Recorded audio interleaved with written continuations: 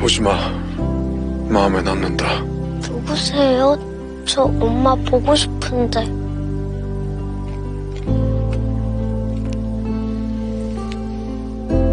마음에 남은 상처는 네 영혼의 세계죠. 다음 생에도 영향을 미치게 돼.